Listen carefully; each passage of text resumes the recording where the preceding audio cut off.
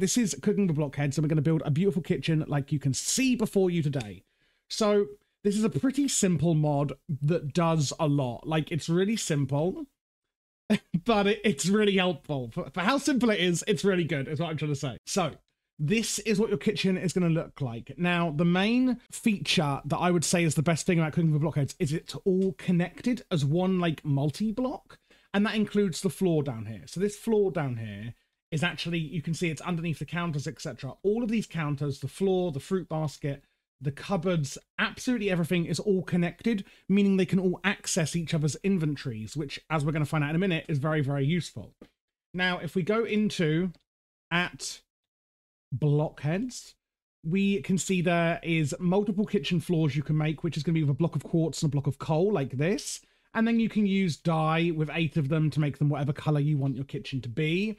We then have the basic kitchen counters, etc. So we have a sink, which is going to provide water to recipes. Now you put a bucket in there and you can hook pipes up into the back and it will provide as much water as is needed for all of your food recipes.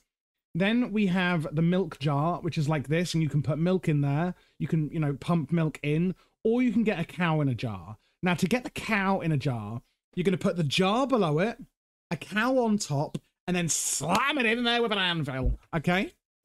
Um.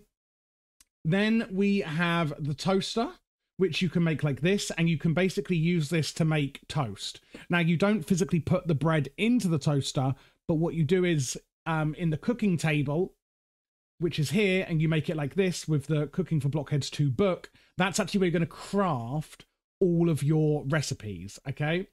There is also an oven which can cook items. So if you're making something like, you know, bread that doesn't need cooking, or in some mod packs it doesn't need cooking, um, that's you would use the, the the cooking table. Anything that actually needs to be physically cooked, um, would use the oven, but you can do that from the cooking table. As I said, they're all connected and it will send the items to the oven if needed.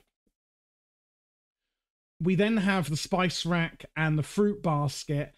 And even though it's a fruit basket, you can put anything in here. I could put these tea leaves in here and you can see them in there like that. Now, if I went over to my uh, cooking table, I can then make tea, wherever it is in here, with that tea leaves or any recipes that take the tea leaves, I can then use um, anywhere else in the kitchen. It's all connected up. So the first three things you're going to want to make is the Cooking for Blockheads 1 book.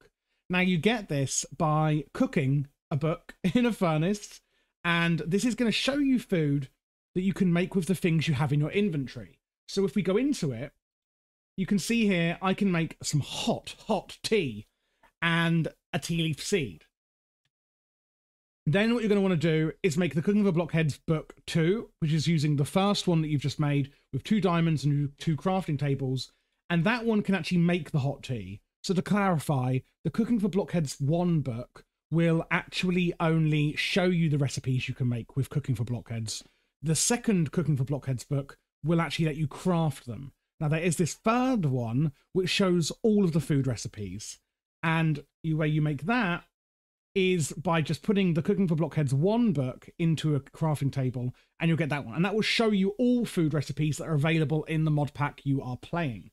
To, to clarify again here, Cooking for Blockheads doesn't actually add any food recipes. You'd need something like Pam's Harvest Craft or Farmer's Delight to add those recipes for you. This just lets you make them in a much easier way. Now, we've looked at the books, we've looked at how to make the cooking table, which is it here again, this is an upgraded version. So you go into the cooking table and it shows all the recipes that you have in all the inventories um, in your kitchen and what they can make. Now you can sort it by saturation. So if you want to make the most saturating food, you would sort it like here. You can see there's a ton of saturation on butter. And then you can sort by hunger restored. The best thing I can make here is a fruity punch. And to actually see all of these little um, hearts and saturation points on the food. That is actually a different mod that does that called Apple Skin. I will leave a link down below to that one. That's apple skin. Without apple skin, it doesn't really show you. It, you can still sort, but you won't really know how much each one is doing. And then you can also search by name, and you can search. Um, you should be able to search in here, but my search bar isn't working. Um, and you can click here and you can see the recipe, and then you can click it again and it will make one for you. And that is how the cooking table works. Now, these cupboards, you can put any food, you know, food in, tea leaves, etc. And you can see them opening. And the cool thing is, if I actually put the tea leaves in here, you can see them in there. Did you see that then? It's in there. And you can shift right click to actually keep them open if you want them open like that. Um, and the same in the fridge. I've got some lots of yummy food in the fridge here. Can shift right click that to keep them open if you want. Doesn't make a difference, just aesthetical here. And what you can do is you can have certain upgrades. So there is the heating unit, and you shift right click this onto the oven, and it allows to heat an oven using energy. So if you have a mod pack with anything that makes RF, you can have this energy bar here rather than using coal.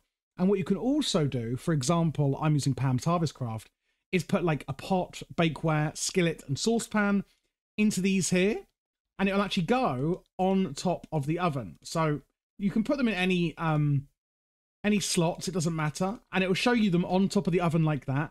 And any recipes that actually need those items, you can now make, which is amazing. So it just it uses them.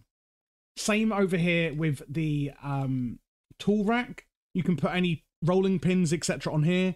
And because this counter is here and the tool rack is the one above it, that will actually connect that still. That will still be connected. So these counters up here wouldn't be connected to the kitchen, but because I've put a milk jar in between, now the counters are actually connected to the kitchen. So as long as you have like one counter touching, you know, something in the middle, it's going to connect um, the cupboards up top. And then, you know, you've got your spice rack. But again, you can put anything you want on the spice rack, um, anything at all. They just call it that for fun. Um, and same with the chopping board. Like this is a um, this is a, a cutting board, sorry, from Pam's, and uh, I could just put that on there. Yeah, you've got the sink here. You know, it all connects up. Uh, the fruit bowl is the exact same thing. In the oven, you can put food straight in here to cook, or you can do it from the cooking table and it will send it. Like if I um, have I got anything I can cook in here? Like like roasted garlic. If I it says click again to cook, so I keep clicking and you can see the oven is actually on now. And if I go into the oven, it has automatically sent that garlic straight into that oven. So that's the heating upgrade we went over, the heating unit. The other one is the ice unit. You shift right click this onto the fridge and it will provide automatically snow and ice to recipes. And then you have the preservation chamber, which prevents the last item of a slot from being used up. And that is also in the fridge because you can put your foods in here, but the fridge has a lot bigger. So if we get a um, preservation chamber and shift right click it onto the fridge like that, um, and then we put in, let's say we've got one, two, three garlic in here. We put three garlic in. Now it should, if I if it works, if I do that, oh, it's using it from there. Right, throw that away. Throw this away. Get rid of it. It's left one garlic in there, so it, that preservation upgrade will mean that you can sort your fridge, etc., very nicely um, and you won't it won't use up the last item, so it all stays organized. And that is pretty much it for cooking for blockheads. It is a really, really simple mod that does makes your life so much easier for cooking, especially with something like Pam's in. If you're not familiar with the Pam's Harvest Craft mod, you can see here on the right on my JEI just how much food it adds. It is absolutely bonkers. So having something like cooking for blockheads installed is, you know, a really, really good way of getting those recipes a lot easier.